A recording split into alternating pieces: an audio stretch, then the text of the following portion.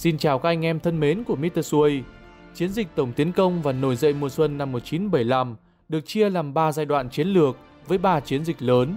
Chiến dịch đầu tiên là chiến dịch Tây Nguyên, mở toang cánh cửa thép tiến về Tây Nguyên từ vùng cao nguyên. Chiến dịch kết thúc cuộc tổng tiến công và nổi dậy là chiến dịch Hồ Chí Minh lịch sử, kết thúc sinh mệnh của một thể chế ngụy quân, ngụy quyền, thống nhất đất nước, mở ra thời kỳ mới cho độc lập dân tộc. Ở giữa hai chiến dịch trên có một chiến dịch mang tên Huế Đà Nẵng, mà nổi bật trong chiến dịch ấy có trận Đà Nẵng, nơi 100 quân Việt Nam Cộng Hòa đại bại chỉ trong 3 ngày. Diễn biến chiến dịch Huế Đà Nẵng ra sao? Xin mời các anh em đi tìm hiểu cùng Mr. Xuôi. Chỉ một ngày sau khi những tiếng súng vang lên tại Tây Nguyên, vào ngày 5 tháng 3 năm 1975, chiến dịch Huế Đà Nẵng chính thức được khai bàn. Chiến dịch Huế Đà Nẵng bao gồm 3 chiến dịch nhỏ bao gồm Trị Thiên 1975, Nam Ngãi, chiến dịch Đà Nẵng. Lực lượng tham chiến của quân Giải phóng và Việt Nam Cộng Hòa. Tháng 3 năm 1975, trên địa bàn khu vực Trị Thiên Huế, quân Giải phóng đã bố trí lực lượng hùng mạnh với quân đoàn 2, binh đoàn Hương Giang do tư lệnh Nguyễn Hữu An chỉ huy. Thành phần của quân đoàn 2 bao gồm 3 sư đoàn bộ binh 304, 324 và 325, sư đoàn phòng không 673, lữ đoàn 164 pháo binh, lữ đoàn xe tăng 203, lữ đoàn công binh 219 và trung đoàn thông tin 463. Kết hợp với quân đoàn 2 còn có lực lượng tại chỗ của mặt trận B5 gồm các trung đoàn bộ binh 4, 46, 271, tiểu đoàn bộ binh độc lập 21, 6 tiểu đoàn địa phương, một trung đoàn pháo binh cơ giới, một trung đoàn cao xạ cùng với các tiểu đoàn công binh, đặc công và vận tải. Trong số những đơn vị của quân đoàn 2 tham gia chiến dịch, nổi bật có hai sư đoàn 304 và 325 được xem là giàu truyền thống đánh trận.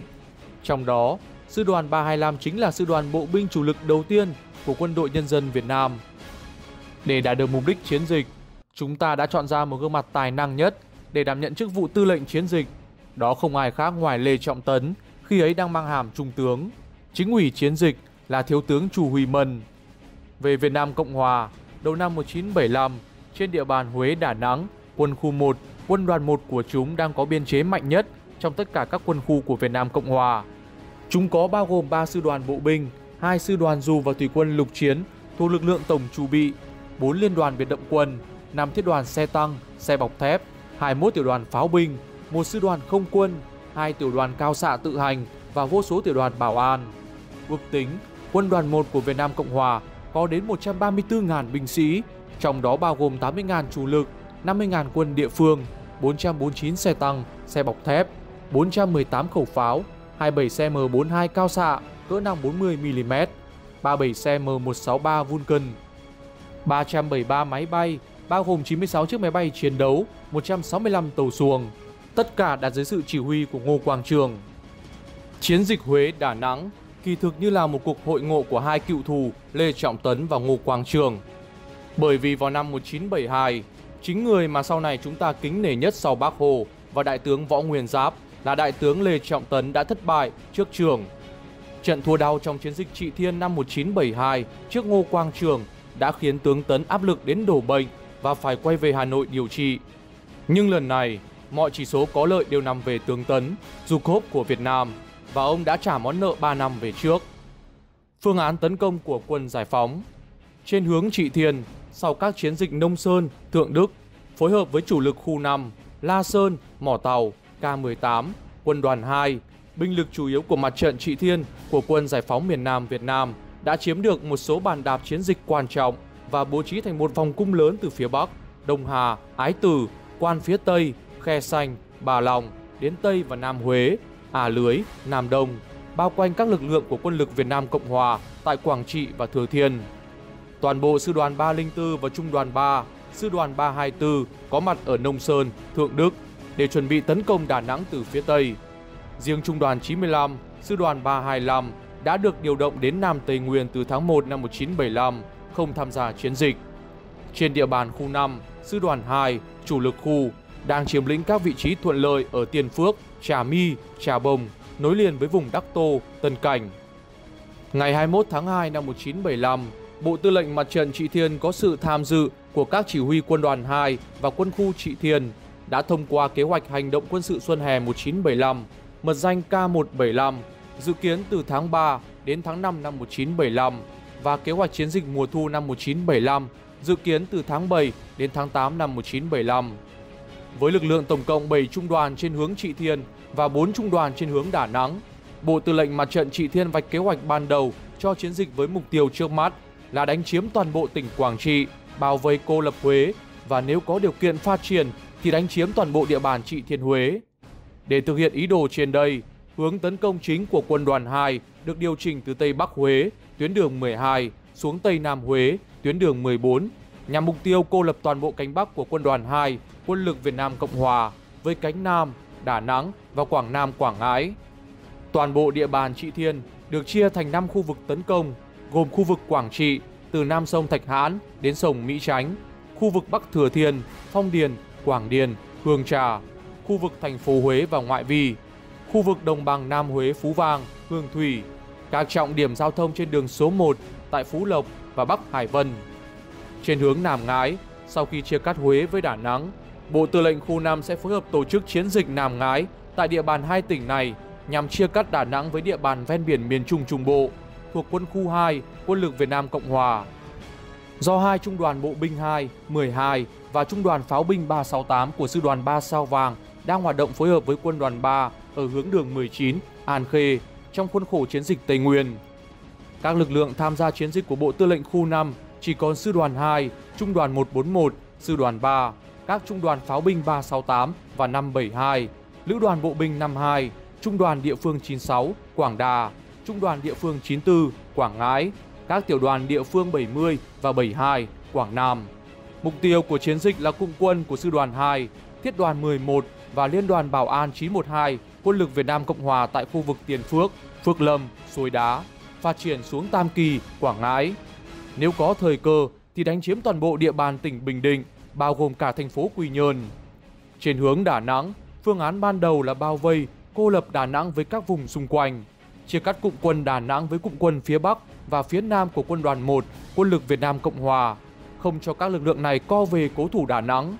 Sau đó tùy tình hình, có thể tổ chức tiến công vào căn cứ Liên hợp Hải lục không quân tại Đà Nẵng trong hành tiến. Phương án phòng ngự của Việt Nam Cộng Hòa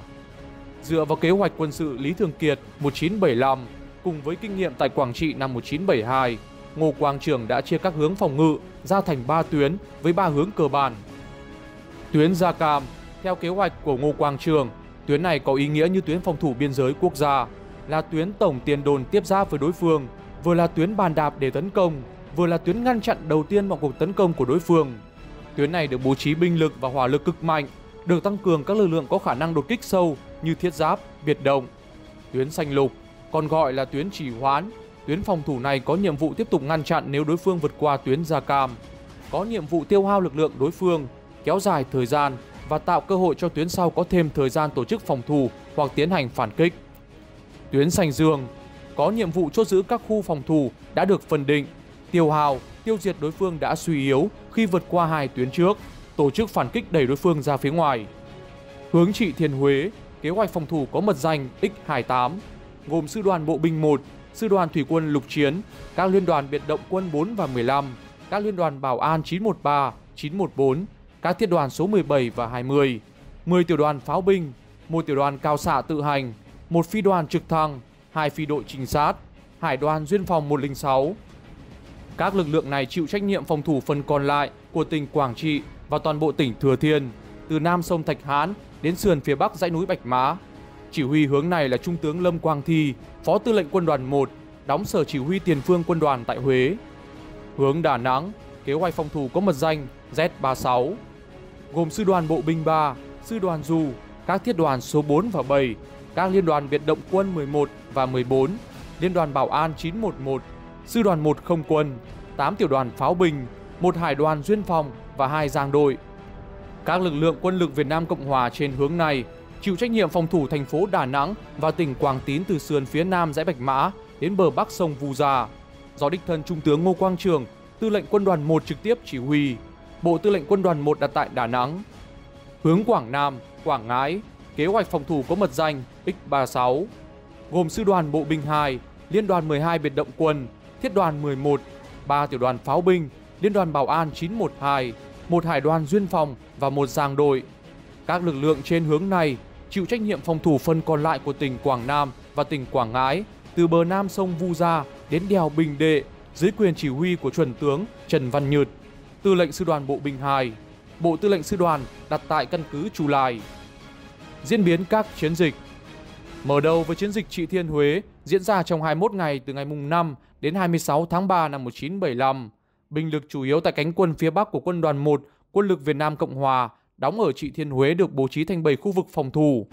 Khu vực từ thị xã Quảng Trị đến sông Mi Chánh có các lữ đoàn 258 và 369 thủy quân lục chiến, liên đoàn 913 Bảo An, thiết đoàn 17 và lực lượng địa phương quân của các chi khu quân sự Hải Lăng, Triệu Phong, Mải Lĩnh. Khu vực từ bờ nam sông Mỹ Chánh đến cửa ngõ phía bắc thành phố Huế có lữ đoàn 147 thủy quân lục chiến, thiết đoàn 20, các cụm pháo binh tại Đồng Lâm, An Lỗ, hai tiểu đoàn của Liên đoàn Bảo an 914 và lực lượng địa phương quân của các chi khu quân sự Quảng Điền, Phòng Điền. Khu vực Tây Bắc thành phố Huế do Trung đoàn Bộ binh 51, Sư đoàn 1 và địa phương quân của chi khu quân sự Hương Trà phòng thủ. Khu vực thành phố Huế, tại cửa Thuận An có Hải đoàn 106, các duyên đoàn 11 và 12. Tại thành phố Huế có 3 tiểu đoàn bảo an, 5 đại đội cảnh sát giã chiến, giang đoàn 32 đóng tại bến Tòa Khâm. Khu vực đồng bằng sông Hương từ Tây Nam Huế đến Phú Lộc có binh lực mạnh nhất, gồm các trung đoàn bộ binh 1, 3 và 54, sư đoàn 1, một chi đoàn của thiết đoàn 17, liên đoàn 15 biệt động quân, 3 tiểu đoàn của liên đoàn bảo an 914 và địa phương quân của tiểu khu Thừa Thiên, các chi khu quân sự Hương Thủy, Phú Vang, Phú Thứ, Nam Hòa. Khu vực ven biển từ Phú Lộc đến Bắc Đèo, Hải Vân do lữ đoàn dù số 2, ba tiểu đoàn của liên đoàn bảo an 914 và địa phương quân thuộc chi khu quân sự Phú Lộc phòng thủ. Ngoài ra, còn có một hải đội và hai giang đội đóng tại cửa Tư Hiền.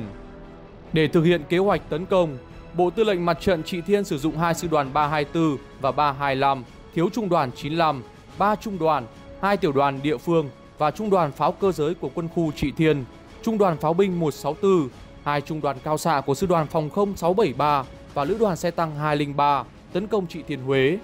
Trong giai đoạn đầu của chiến dịch tạm thời chỉ sử dụng một đại đội xe tăng, hướng tấn công chủ yếu từ Tây Nam Huế do quân đoàn 2 phụ trách, các hướng khác do quân khu Trị Thiên đảm nhận.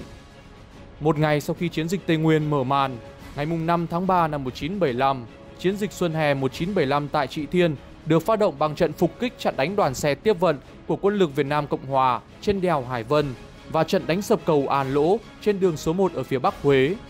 Các cứ điểm của Liên đoàn Bảo an 913 tại động Ông Giò và điểm cao 367 bị vây ép. Căn cứ pháo binh Đồng Lâm và sân bay Phú Bài bị pháo kích.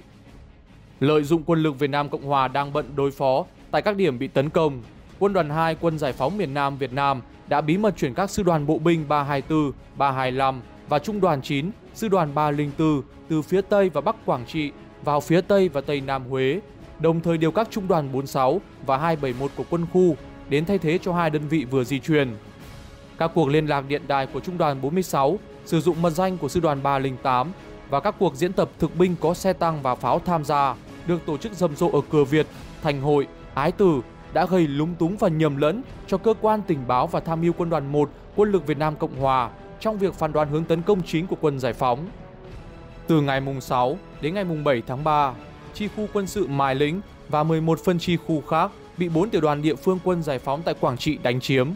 Trong khi tướng Lâm Quang Thi đang đòi Ngô Quang Trường tăng viện cho Quảng Trị, thì 5 giờ 45 phút sáng ngày mùng 8 tháng 3, sư đoàn 324 bắt đầu tấn công căn cứ mỏ tàu, các điểm cao 75, 76, 224, 273 và 303 ở Tây Nam Huế. Đến ngày 10 tháng 3, hai tiểu đoàn của các trung đoàn 1 và 54, sư đoàn 1 quân lực Việt Nam Cộng Hòa bị loại khỏi vòng chiến đấu tại các điểm cao 224 và 273.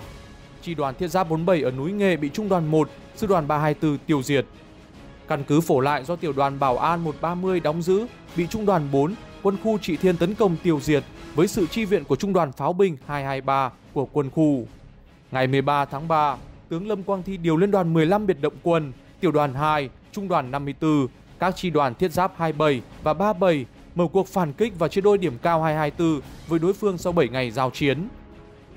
Trong một tuần đẫm máu tại điểm cao 224, cả hai bên đã bắn vào đây hơn 8.000 phát đại bác. Quân lực Việt Nam Cộng Hòa cũng sử dụng hơn 60 phi vụ oanh tạc nhằm cản bước tiến của quân đoàn 2 quân giải phóng. Trong khi chiến sự tại địa bàn quân khu 1 đang diễn tiến với mức độ ác liệt gia tăng, thì ngày 13 tháng 3 năm 1975, Ngô Quang Trường được triệu tập về họp tại Sài Gòn. Trong cuộc họp cùng ngày, Ngô Quang Trường không thể tin ở tai mình khi nghe một mệnh lệnh đột ngột từ Nguyễn Văn Thiệu yêu cầu bỏ lại phần lớn quân khu 1, rút về phòng thủ vùng Duyên Hải miền Trung. Riêng sư đoàn dù phải được rút ngay về bảo vệ biệt khu thủ đô. Trưởng cố sức dùng mồm chứng minh rằng quân đoàn 1 có thể giữ vững địa bàn quân khu, rằng với hai sư đoàn dù và thủy quân lục chiến chưa sử dụng đến, quân đoàn có thể tổ chức lấy lại những địa bàn đã mất. Nhưng mọi sự thuyết phục của trường đều gió thoảng mây bay, giống như trường hợp chỉ thị cho Phạm Văn Phú rút quân khỏi Tây Nguyên. Thiệu một lần nữa coi quyết định của mình là tối hậu. Trở lại quân đoàn 1 vào chiều hôm đó, trưởng vẫn chưa dám phổ biến ngay quyết định của Thiệu. Một mặt trưởng muốn chứng minh cho Thiệu thấy là mình đúng do còn có thời gian và binh lực chưa bị nhiều tổn thất. Mặt khác, không muốn gây hoang mang cho cấp dưới khi chiến cuộc còn chưa ngã ngũ. Nhận thấy mặt nam của quân khu cũng bị đe dọa, Ngô Quang Trường cũng điều chỉnh lại kế hoạch phòng thủ theo mô hình một gốc hai cành, lấy Đà Nẵng làm trung tâm phòng ngự, cánh Bắc là Trị Thiên, cánh Nam là Quảng Nam, Quảng Ngãi. Do phải trả sư đoàn du về Sài Gòn, trưởng ra lệnh rút lữ đoàn 369 thủy quân lục chiến vào Quảng Nam thay thế lữ dù bà, điều lữ đoàn 258 thủy quân lục chiến về đèo Phú Gia, Bắc Hải Vân thay thế lữ dù hài. Việc làm này cho Trung tá Đỗ Kỳ, tiểu khu trưởng Quảng Trị lập tức kháng nghị vì việc rút hai lữ đoàn này cũng có nghĩa là rút kèm theo hai tiểu đoàn pháo binh và một chi đoàn thiết giáp tăng phái. Trưởng chỉ còn có thể giải thích rằng đây là lệnh của Thiệu và chấp thuận tăng cường cho hướng Quảng Trị Liên đoàn biệt động quân 14 lấy từ Đà Nẵng. Từ ngày 13 đến ngày 15 tháng 3, Trung đoàn 6 quân khu Trị Thiên mở một loạt trận đánh vào các cứ điểm Trúc Mao, La Sơn, điểm cao 551 và điểm cao 300 ở phía Tây Huế, buộc Trung đoàn 3, Sư đoàn 1 quân lực Việt Nam Cộng Hòa phải bỏ khu vực phía Tây đường số 12, rút về phòng thủ khu vực Động Tranh, Bình Điền. Ngày 17 tháng 3, xuất phát từ phán đoán quân lực Việt Nam Cộng Hòa sẽ co cụm về phòng thủ các thành phố Huế, Đà Nẵng. Bộ Tổng tham mưu quân giải phóng miền Nam Việt Nam đã phát điện khẩn yêu cầu Bộ Tư lệnh Mặt trận Trị Thiên nhanh chóng cắt đường số 1 ở Bắc Huế, vô hiệu hóa sân bay Phú Bài, cô lập Huế với Đà Nẵng về đường không. Quân đoàn 2 phải đánh chiếm ngay quận lỵ Phú Lộc, cắt đường số 1 ở Nam Huế, cô lập Huế với Đà Nẵng trên bộ. Chấp hành lệnh này, Bộ Tư lệnh Mặt trận Trị Thiên vạch kế hoạch tấn công trên hướng Bắc Quảng Trị. Mũi chủ yếu từ Thanh Hội theo đường số 68 và từ Tích Tường, Như Lệ theo đường số 1 đánh vào. Mũi vu hồi từ hướng Tây đánh thẳng ra An Lỗ. Mũi vu hồi phía Nam đánh ra đường số 1 tại Lương Điền, Đá Bạc, vòng qua các điểm cao 224 và 303. Cánh Bắc của quân đoàn 2, sư đoàn 324 hướng đòn tấn công chính vào quận lỵ Phú Lộc và đèo Phú Già. Ngày 18 tháng 3, các đơn vị thuộc quân khu Trị Thiên đồng loạt tấn công. Ở cánh Bắc, tỉnh Quảng Trị bị quân giải phóng miền Nam Việt Nam đánh chiếm toàn bộ lúc 18 giờ 30 phút ngày 19 tháng 3. Trung tá Đỗ Kỳ dẫn một bộ phận biệt động quân còn lại rút về Huế và bị truy kích dọc theo đường số 1 đến Ản Lỗ. Đang ở Sài Gòn xin phê chuẩn kế hoạch phòng thủ mới, tướng Ngô Quang Trường vội bay ra vùng 1 và gấp rút tổ chức lại tuyến phòng thủ ở cánh Bắc của quân đoàn 1. Tại tuyến Mỹ Chánh, Thành Hương, Kế Môn, Vân Trình có lữ đoàn 147 thủy quân lục chiến, các tiểu đoàn 77, 121, 126 biệt động quân, liên đoàn Bảo an 913 và thiết đoàn 17. Lữ đoàn 480 thủy quân lục chiến được điều từ Đà Nẵng ra Tây Bắc Huế để triển khai từ Sịa đến Lương Điền. Sư đoàn 1 bộ binh, liên đoàn 15 biệt động quân và thiết đoàn 7 bố trí thành vòng cung từ núi Gió, Hòn Vượn qua Bình Điền đến Mỏ Tàu, ôm lấy phía Tây và Tây Nam Huế. Lữ đoàn 258 thủy quân lục chiến và Lữ đoàn Bảo an 914 giữ đường số 1 nối Huế với Đà Nẵng ở Phú Lộc. Thiết đoàn 20 giữ sân bay Phú Bài. Tổng số binh lực có 27.500 quân chủ lực, 19.000 quân bảo an và 36.000 quân phòng vệ dân sự. Vòng ngoài của Huế gần như đã bị hoàn toàn chia cắt với nhau và chỉ có thể co cụm phòng thủ. Tình hình tại Huế đối với Việt Nam Cộng Hòa gần như đã là tồi tệ nhất có thể. Từ trưa đến chiều 25 tháng 3, hầu hết các mục tiêu quan trọng trong thành phố Huế như căn cứ Màng Cá, Sở Chỉ huy Tiền phương Quân đoàn 1, trại Trần Cao Vân, nhà lao Thừa Phủ, Đại Nội bị quân giải phóng đánh chiếm. Quân lực Việt Nam Cộng Hòa tại Huế vỡ trận, số quân nhân không kịp rút vào Đà Nẵng bị bắt và ra trình diện lên đến 58.722 người, trong đó có một đại tá, 18 trung tá, 81 thiếu tá, 3.681 sĩ quan cấp úy. Khoảng 14.000 viên chức và nhân viên dân sự cũng đã ra trình diện. Một số lớn phương tiện chiến tranh trong đó có 140 xe tăng, xe bọc thép, hơn 800 xe quân sự khác và khoảng một vạn tấn đạn đã rơi vào tay quân giải phóng. Trong khuôn khổ các hoạt động quân sự phối hợp với mặt trận Trị Thiên Huế và mặt trận Tây Nguyên, đầu tháng 3 năm 1975, Bộ Tư lệnh Quân khu 5 Quân Giải phóng mở chiến dịch Nam Ngãi với mục tiêu chia cắt quân khu 1 và quân khu 2 trên bộ của Việt Nam Cộng Hòa, phối hợp với quân đoàn 2 và quân khu Trị Thiên hợp với quân đoàn 1 Việt Nam Cộng Hòa tại Huế và Đà Nẵng. Tham gia chiến dịch có sư đoàn 2, chủ lực khu 5, trung đoàn 141, sư đoàn 3 sao vàng, lữ đoàn bộ binh 52 độc lập, các trung đoàn pháo binh 368 và 572, các trung đoàn địa phương 94 và 96, các tiểu đoàn địa phương 70 và 72. Hướng tấn công chủ yếu là vùng Tây Nam Quảng Nam và Tây Bắc Quảng Ngãi trên tuyến Tiền Phước, Tam Kỳ, Núi Thành và Trà Bông, Bình Sơn. Đây là tuyến phòng thủ yếu nhất của quân lực Việt Nam Cộng Hòa tại Nam quân khu 1, xa trung tâm Đà Nẵng, bị chia cắt bởi nhiều sông ngòi. Quân lực Việt Nam Cộng Hòa phải giải quân ra 77 điểm chốt. Địa bàn Nam quân khu 1 được giao cho tướng Trần Văn Nhượt, tư lệnh sư đoàn 2 bộ binh chỉ huy với lực lượng tương đối mỏng so với hai địa bàn còn lại của quân khu 1. Tất cả chỉ có sư đoàn 2 bộ binh, liên đoàn 12 biệt động quân, liên đoàn 916 Bảo An, thiết đoàn 11, 3 tiểu đoàn pháo binh, một hải đội tuần duyên và một giàng đội. Chiến dịch Nam Ngãi kết thúc sau 2 tuần giao chiến chóng vánh. Sự kiện Quảng Nam, Quảng Ngãi bị quân giải phóng đánh chiếm đã bổ đôi toàn bộ chiến trường miền Nam Việt Nam. Chỉ trong 2 ngày 24 và 25 tháng 3, hai hướng phòng thủ chiến lược của Việt Nam Cộng Hòa tại Trị Thiên Huế và Quảng Nam, Quảng Ngãi bị tàn vỡ.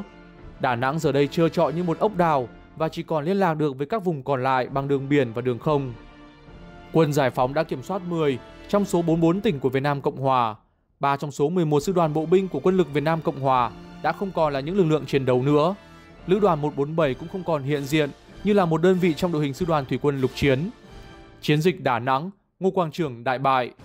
Đà Nẵng là thành phố lớn thứ hai của miền Nam Việt Nam với dân số gần 1 triệu người. Đây không chỉ là trung tâm kinh tế, chính trị mà còn là căn cứ quân sự liên hợp hải lục không quân lớn nhất miền Nam với bốn cảng lớn, trong đó có cảng Sơn Trà là cảng nước sâu hiện đại, các sân bay Đà Nẵng và nước mặn. Trong đó, Đà Nẵng là sân bay cấp quốc tế, hệ thống kho tàng có sức chứa hàng chục vạn tấn bom đạn, vũ khí, phương tiện chiến tranh, quân trang quân dụng, xăng dầu, lương thực, thực phẩm. Ngoài ra, còn có căn cứ radar đa chức năng đặt tại Sơn Trà do quân đoàn 3 giã chiến của Mỹ quản lý trước đây và bàn giao lại cho Việt Nam Cộng Hòa sau Hiệp định Paris. Sau khi mất Quảng Trị, Thừa Thiên, Quảng Nam và Quảng Ngãi, Nguyễn Văn Thiệu gửi cho các tư lệnh quân khu bức công điện số 015 TTCD ngày 25 tháng 3 năm 1975, trong đó yêu cầu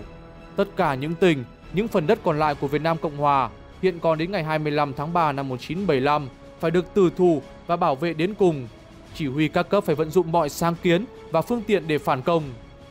Thực hiện lệnh này, ngày 26 tháng 3 năm 1975, Ngô Quang Trường cố gắng thu gom các đơn vị còn lại với tổng số quân trên dưới 75.000 người về phòng thủ thành hai tuyến quanh Đà Nẵng.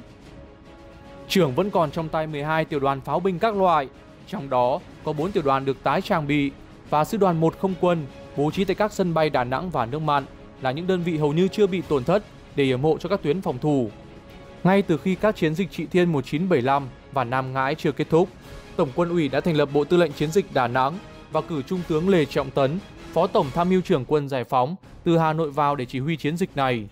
Chiến dịch công phá Đà Nẵng được chia thành 4 hướng với 3 mức độ đối phó và tiếp cận tùy theo các tình huống trên chiến trường.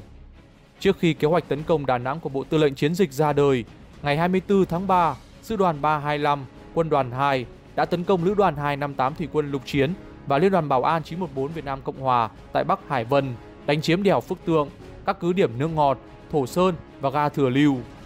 Trận địa pháo binh của Việt Nam Cộng Hòa tại Phước Tượng giờ đây do quân giải phóng làm chủ và được sử dụng ngay cho trận đánh tiếp theo. Ngày 27 tháng 3, đến lượt các cứ điểm Phú Gia, Hải Vân bị tấn công. Sau 5 giờ chống cự với sự yểm hộ của các máy bay A-37 từ sân bay Đà Nẵng và pháo binh từ trận địa Lăng Cô, Liên đoàn 258 Thủy quân lục chiến và Liên đoàn Bảo an 914 tan vỡ phần lớn quân số. Sư đoàn 325 thừa thắng đánh thốc qua các sơ hải, Loan Lý, An Bảo và Lăng Cô. Hơn 30 khẩu pháo các cỡ của các trung đoàn pháo binh 84 và 164 quân giải phóng được triển khai cấp tốc tại các trận địa Sơn Thạch, Sơn Khánh, đèo Mũi Châu đã bắn trực chỉ vào các căn cứ của Việt Nam Cộng Hòa tại thành phố Đà Nẵng từ 5 giờ 30 phút sáng ngày 28 tháng 3. Việc chỉ huy các đơn vị dưới quyền của Ngô Quang Trường đã hoàn toàn không thể thực hiện được từ chiều 28 tháng 3.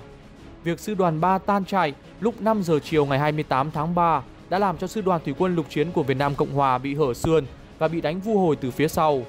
Trước đó, 6.000 quân của sư đoàn 2 đã đảo ngũ, giã ngũ, không còn kỷ luật và tinh thần chiến đấu nữa.